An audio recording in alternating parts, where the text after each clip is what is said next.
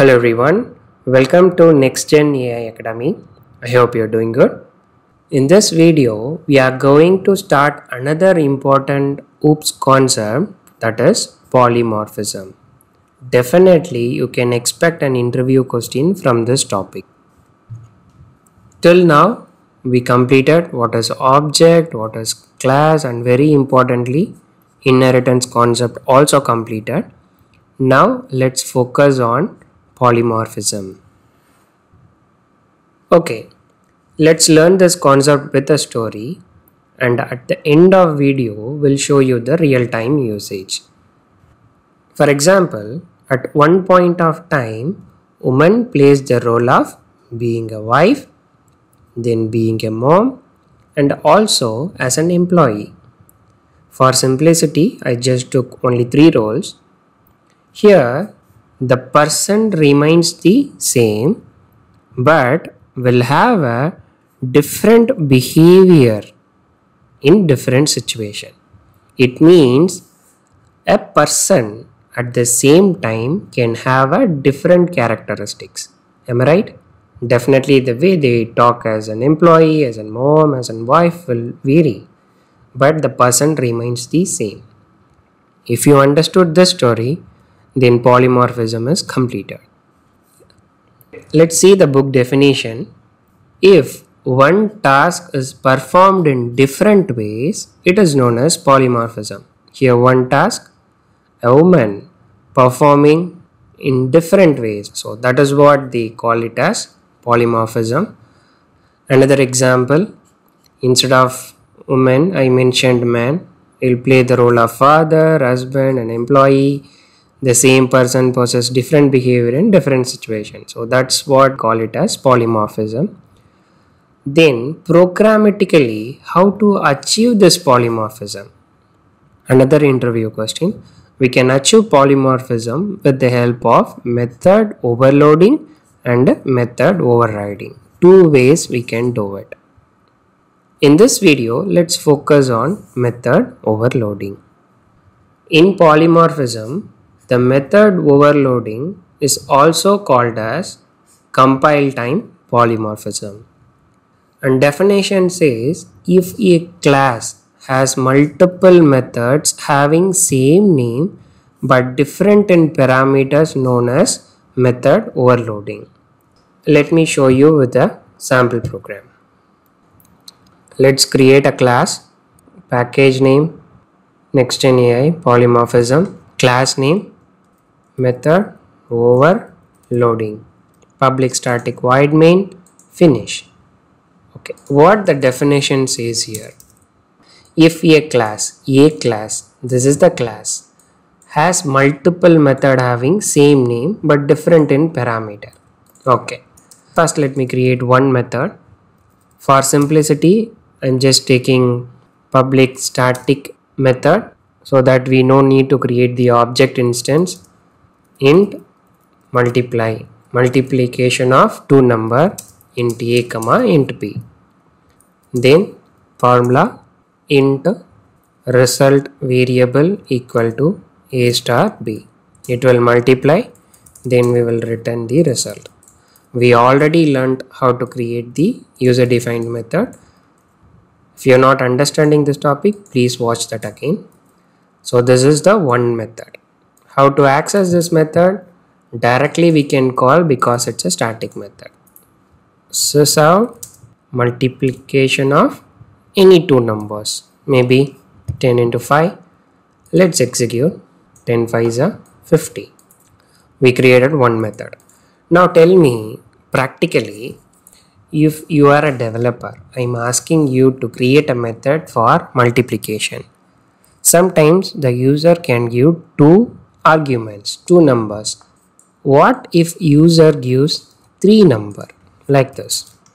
Another 10 will you create a method like multiply of two number then multiply of three number then multiply of four number?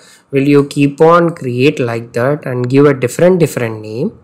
Or a common name it can able to satisfy both the condition. Obviously we will go for a common name that is also the main reason why we go for method overloading. If a class has multiple method having same name, same name, I'm just creating the same name, just copy pasting it, but different in parameters. These are all called parameters. Now I'm saying I want multiplication of three numbers. So what I will do, I'll just update the formula a into b into c. When you pass three parameters, then also it will work. See now, when you execute this program, what will happen? Two parameter. So during runtime, it will choose this method. When you run this line here three parameters, then it will choose this method. Let me execute and show you. So it is 50 and here it is 500. So now we will see the definition again. If a class, this is a class, has multiple methods, multiple methods having same name, yes, multiply is the same name, but different in parameters, int a, int b, int a, int b, here 2, here 3, you can make 4 or 5 and this concept is known as method overloading. Okay, let's back to the slide.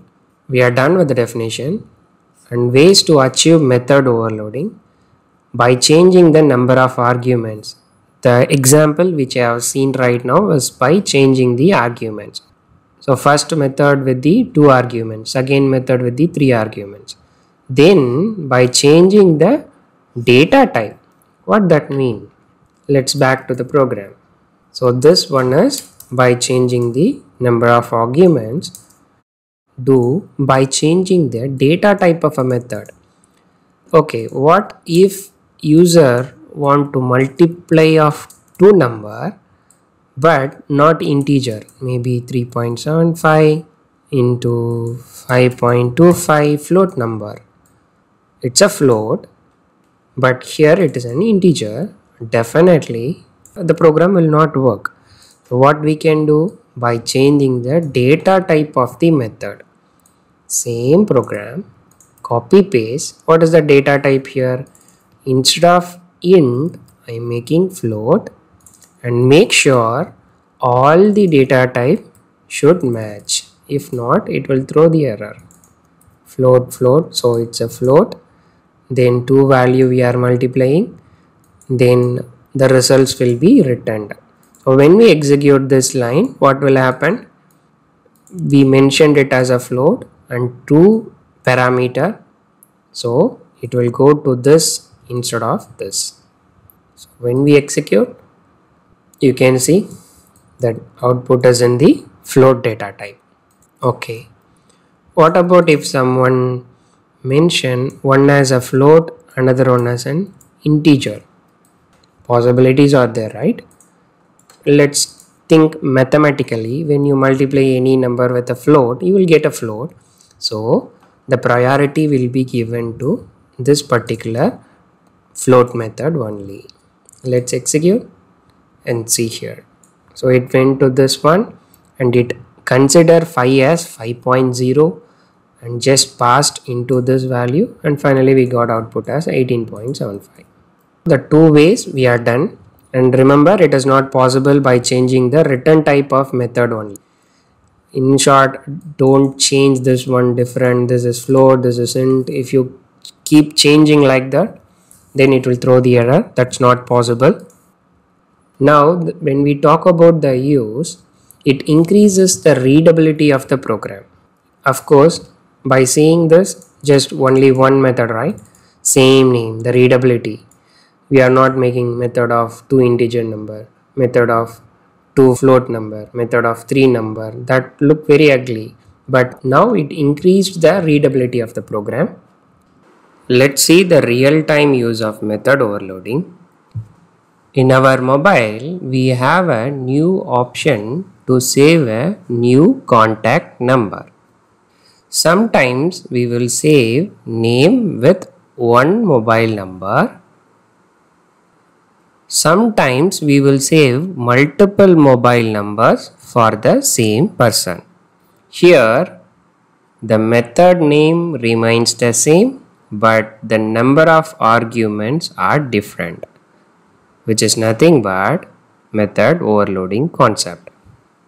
Hope you got a good clarity about method overloading concept. In the next video, we will learn about method overriding. That's the end of this video. Thanks for watching. Happy learning.